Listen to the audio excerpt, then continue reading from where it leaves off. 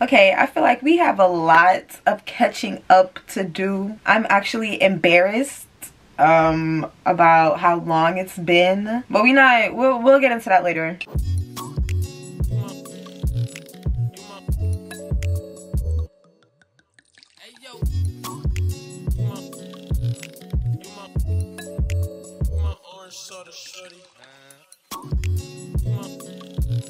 I'm getting ready for work right now. Um, I usually do my makeup in a car. I don't know why. It has honestly become a habit. I enjoy it's like a little therapy session for me.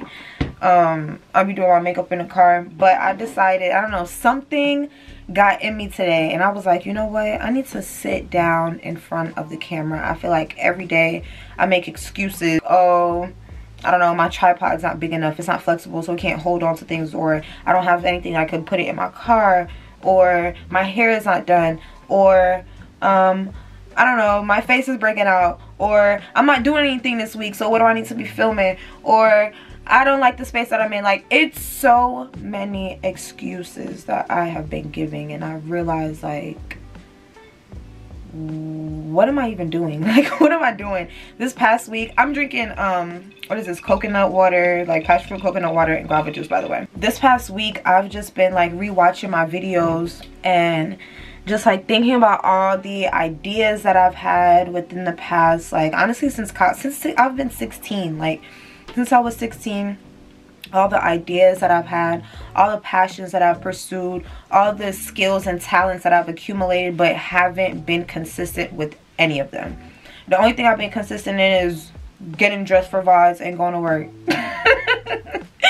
Getting dressed to go be in the club. Like i feel like that's the only thing i've been consistent with. and of course school. I be i don't give myself enough credit for actually completing school um and that was like literally my biggest hindrance or i thought it was a hindrance at the time but i've just i just be feeling like if i was to be consistent with something like just one of the things that i started with like who knows where i would be from now even I remember one summer I was detailing cars. I had no interest on becoming a professional car detailer. I was literally just doing it as a way to make money.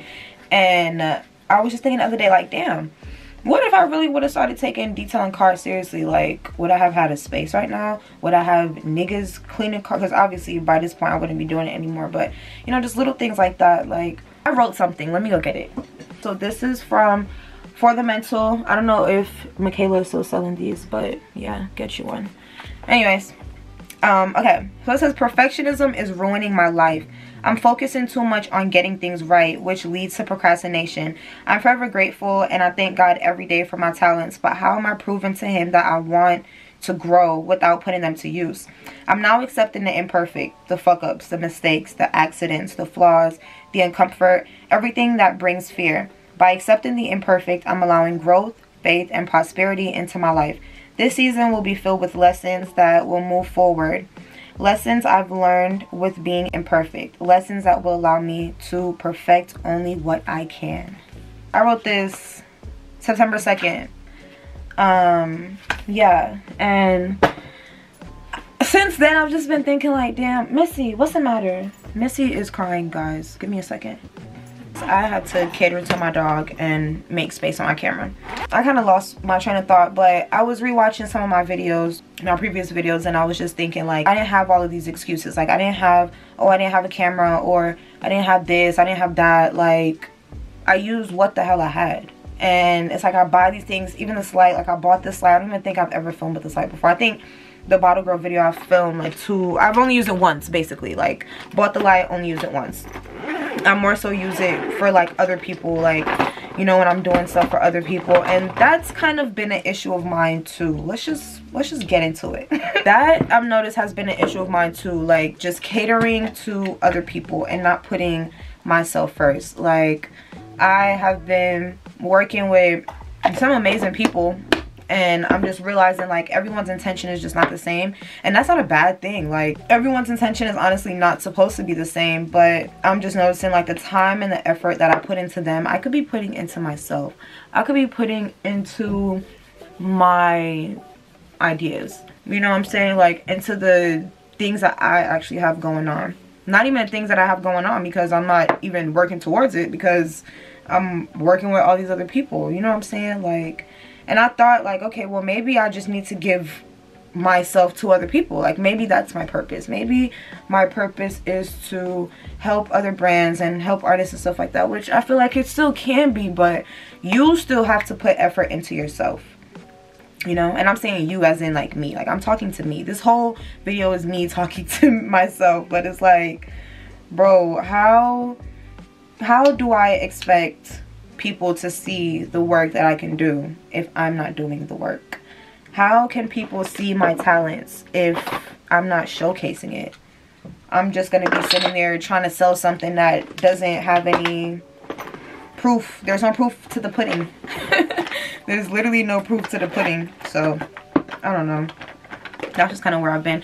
But, nevertheless, first step to everything is always self-awareness. First step to everything is always self-accountability. So, I have already accepted like not even accepted but i've acknowledged like what's going on. I've acknowledged okay these are these are the things that like you need to fix. These are the things you need to work on. These are the things that you're passionate about that you're not chasing for real like you know? These are the areas that you want to be in but you're not putting yourself in these spaces i have noticed that i've been literally given things that i've asked god for and i didn't trust myself enough in the moment to chase it or to even obtain it so I didn't and I let it slide. Like this past year it's been a few things in so many different aspects that I've literally asked for something got it and I was like mm, nah I'm laughing now but that's actually sick like that is so sick bro like who does that like what how can you ask God for something and when he gives it to you, you're just a little ungrateful brat? Like, eventually he's going to stop giving you stuff. and I really just had to be for with myself and tell myself that, like, okay, I have to start realizing, like, God is giving me all the things that I asked for. I'm just not taking it. I'm not accepting it. I'm putting myself in these rooms sometimes and not all the times, you know? Like, I'm taking chances sometimes and not all times when he's giving me these opportunities all the time. So I feel like that's that. But I feel like we kind of need to catch up because I don't know. I have definitely been starting like a little series that I also have not been consistent with. Um, like becoming a creative director, which is a series that I really like. And it's really fun to do too. Um, but I feel like I need to kind of explain how we got to there from graduation.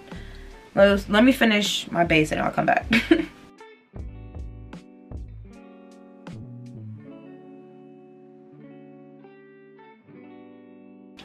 okay, so let's rewind to December of 2022. I graduated Savannah State University, the illustrious Savannah State University. Um i don't know if you guys knew but my major was in public relations and advertising. I've interned um i've done like a bunch of different things in my field whatever. So after graduation i got a job like a month after um working in corporate sales i was a recruiter for a company i'm not gonna say the name of the company but i was a recruiter for a pretty big staffing agency um and i worked in their digital office so I did that for 10 months. And that job was very interesting nevertheless. it taught me a lot about just like life. Um, it taught me a lot about like the corporate world and stuff. It taught me a lot about how to run meetings. Like one thing about that job, they trained the crap out of you. Like we trained all the time even when we weren't training we were training like every day we had to do like role plays and stuff like that like we were always trying to better our sales skills and better the way we presented the services that we offered and stuff like that so that's one thing i would say they really did train their employees so with that i was able to take the things that i've learned there and apply it to like the things that i'm doing now and and other jobs and stuff like that so i was working there for 10 months um, the commute was shit.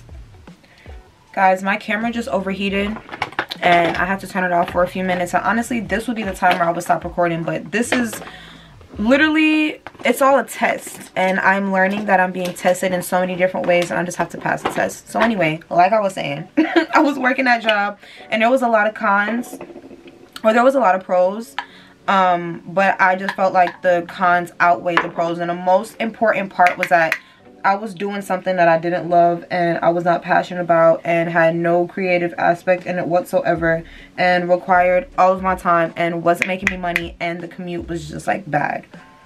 So let's see. Let's just fast forward to where I'm at now. Like fuck everything else. Today, it's like October 4th. Um, I am heading to go to work. I actually recently applied, not recently, I applied all the way back in July, but I recently got the job um, to be a substitute teacher. So I'm so excited um, because I get to make my own schedule. And that was honestly one of the biggest, there's a few promises I made to myself when I quit my job because I was very scared. Like, I'd be sitting here lying if I was just like, you know what, I'm gonna quit my job. I was thinking about quitting my job for like four months prior to when I did it. I was like, I'm gonna get promoted first, then quit. Or I'm gonna, cause I was training to like, um, basically get promoted. I was like, all right, I'm gonna get promoted and then quit. I was like, mm, I'm gonna wait till this happens and then quit. Or I'm gonna wait till this. And it was just like one day, you know, the situation was going on in my car. And it's like everything really happens for a reason. Cause I didn't have a choice but to quit when they said what they said to me. So I had to get up out of there. Um, but yeah, so a few promises I made to myself when I did quit that job was that number one, I'm going to create my own schedule. And I know that sounds like very bratty and it's not always possible. Like I don't literally create my own schedule now, but I don't ever want to put myself in a position to where I'm tied down to something that I'm not interested in Monday through Friday, 9 to 5, 8 to 5, 6 to 6 basically is what I was working at that place, six to six. Um, you know, so it's like that was one of the promises I made to myself. I did not spend four years in college picking up a degree that I was genuinely interested in to sit somewhere for 40 hours a week 40 plus hours a week and I wasn't interested in it or it didn't bring me like any happiness or value. You know what I'm saying? So that's one of the things that I promised to myself um, when I did that um, another thing is that I never wanted to become too obligated or I never wanted to give somebody else, what am I trying to say? Like, I don't want to give someone else too much of my time and not myself first. Where I feel like I think now that's where I'm feeling so much guilt because I'm not going to hold you. I be feeling like I do nothing. Like I literally just go to work and that's it but it's like I feel like I'd be at work all the time or at one point I was at work all the time because I was training to be a manager there and that's where I started realizing okay I'm giving a lot of people too much of me. Like how did I work this place in college knowing that it was going to be a side hustle and find a job quit the job come here and now I'm trying to manage the place? Like make it make sense. I'm just giving all these other spaces too much of my time. Um and I'm not doing the same thing for myself and that is that's just where I'm having like the biggest, I don't know, I guess guilt lately, but I gotta fix it, or I am working to fix it. That's the that's the whole point of this little conversation is that I've realized, okay, I am the problem. okay, it's not my circumstances, it's not my environment, it's not anything. It's me. I literally have all the resources and all the tools that I need. I'm just not applying myself. So, as far as like me working to be a creative director, that hasn't changed. I mean, like, I literally have, what, over four years of experience in doing this now because I've worked. I think the the way I, like, realized this is what I wanted to do is I literally just combined all the skills that I had. I combined my writing skills. I combined my musical background. I combined that with like my PR experience. I've combined that with my graphic design experience, my um, eye for photography. I don't have any photography, but my eye, like I have a good ass eye. I have good taste. So I realized like, okay, I don't have to limit myself to just one thing in PR. I could just do everything. So that's kind of um, what I've been doing with that. And as you guys know, Nandy makes music and we've been close friends like since college so that's another thing that i'm realized. I literally just realized like last week how privileged i am to be able to perfect my talents and my skills with people that i know people that trust me people that love me people that will allow me to push myself or better yet push me to doing things that i'm not comfortable doing to really like build on these skills like i'm not in an environment like how i was when i was interning where i'm around all these big ass artists and working at these big ass labels with me in this space where i feel like i couldn't really add value.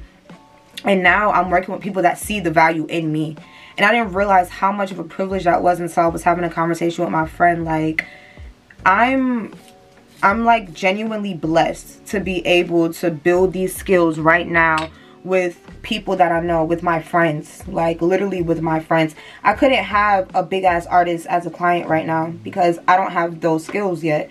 I don't even have like faith in myself that I could fulfill whatever it is that they asking me to do and that's like the biggest problem. So I am just so grateful that I'm able to like build these skills and learn things from people within my circle and stuff like that. So with that, I've been working with Nandy. I've also been working with uh, this other artist. Excuse me, guys. This every time I do my makeup, it just be shit in my eye. But yeah, like I've been privileged enough to be able to work with people that, you know, will just push me to be a me the same way that I can push them, you know, and I'm still like putting myself in spaces. Like I am also the manager at Broom Studios here in Atlanta um and that was the opportunity that i got myself. Like i didn't need my mentor or nothing like that. I literally saw that they were hiring. I reached out. Boom. Got the opportunity. So you know just stuff like that putting myself out. But i think that i be wanting things to happen too quick for me. And that's my problem. Like i be wanting to do something one day and the next day like i'm just a millionaire. And it just it doesn't work like that. And i be having to remind myself like it doesn't work like that. Like you have to chill. You actually have to sit down and live in the moment. Live in the things that you ask God for. Like I literally asked God to be here when I quit my job. When I quit my job in December, I asked God to be in the space that I'm in today. And I'm rushing to be in the next space. Like, damn, can you relax? can you vibe? So lately I've definitely unfortunately been living in a space of like ungratefulness which is I, I just want to get out of that you know like I'm very grateful. I'm so grateful for all the things that God's given me. Like I can't even imagine like not being who I am. So why would I even ask for anything else? Because anything else would be beyond me. It wouldn't be me you know? What time is it? It is almost nine o'clock. Um I need to finish this up now. But let's see. Today I actually went on a meeting with a new artist that reached out to me. And that's even stuff like this. Like people are reaching out to me. I don't even put my stuff out how I should. I'm not even, I'm not even, I'm, I am not even creating things and putting it out there for people to see, for people to see the talent within me, for people to see what I'm worth. Like, it's insane. And I'm here questioning myself. Like, strangers are not questioning me, but I'm here questioning myself. So, moving forward with that, I want to be just consistent in everything. Like, I want to be consistent in the gym. Oh my God, I even started working out this year. Like, going to the gym working out not working out once every six months like actually going to the gym and i haven't been to the gym consistently in like a month no cap. Honestly it's probably going on two now. I have not been to the gym consistently and it's like bro i was doing so good. Like i was literally doing so good and i just stopped being consistent. It's like consistency my perfectionism is causing procrastination which is causing me to be comfortable which is causing me to not be consistent. I think that's exactly what it is. Everything just leads back to me trying to be this little perfectionist. And it's like, what? Nothing is perfect. Actually, no. Everything is perfect because this is how God wanted it to be. so actually, yeah, everything is perfect. But I just moving forward I'm realizing like yeah I have to I have to actually apply myself that's literally all it is is applying myself I'm not applying myself I'm being lazy and I'm being like just too comfortable. Like I'm too comfortable waking up and doing the same things and comfortable in the space that I'm in and you know I'm just too comfortable and I'm noticing like oh yeah God is he's getting ready to shake some shit for like and I'm excited and I'm prepared. I think that's what's most important. I don't think I would have been prepared um, a year ago or even like the beginning of this year. I don't think I would have been prepared, but I think now I'm in a space where like I'm prepared. I'm I am living comfortably in fear. I don't know what I've been so afraid of. I don't know what I was hiding from. Um, and I don't even know what exactly this next chapter of my life is going to look like. I don't even know what it is that I'm asking for.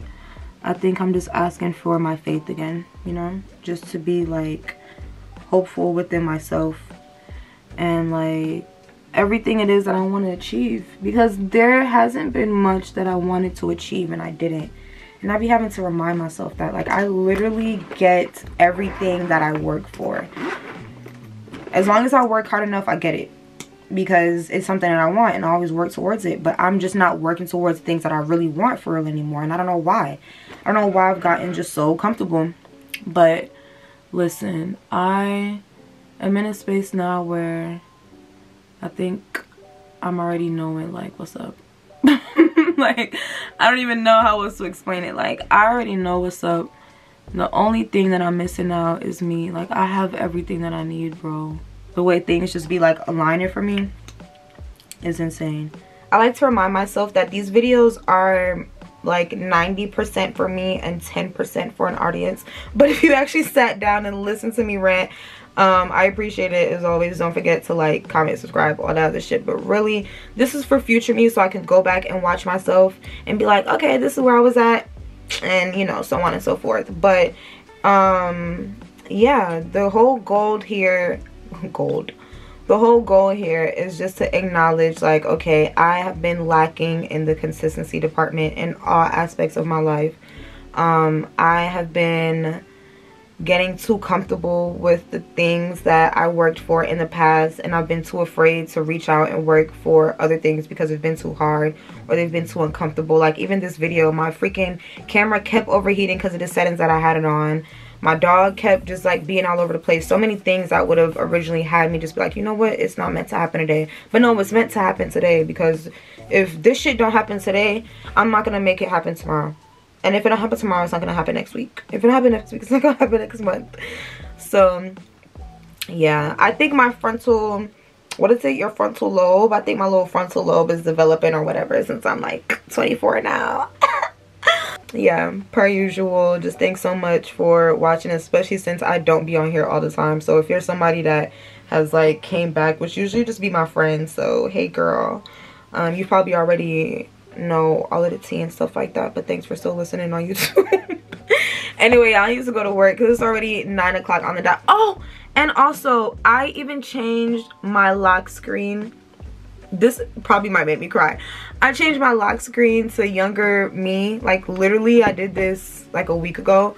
Um, i was actually watching haley haley gamba's video and she inspired me to do it. But i changed it as myself and every time i look at it it it just motivates me every single day. Like i cannot look at this. I don't have any kids um and my dog is a dog and she doesn't really require much from me except from like love and attention. But when i look at this I want y'all to see for real. Hold on. When I look at this, I just want to do so much for this little girl. Like, when I look at, and then it's me holding the Bratz doll and braiding her hair. Yasmin used to be my favorite. When I look at this picture, it just makes me like want to get up and do everything that I have in my head to do because that's what little me wanted. Like, little me just couldn't wait to be 16 so she can hang out with her friends and be on the cheerleading team. And when I turned 16 I got friends and on a cheerleading team and I was a cheerleader. Like little me couldn't wait to like play the violin and play an instrument. And I started playing them up the the freaking violin. Okay?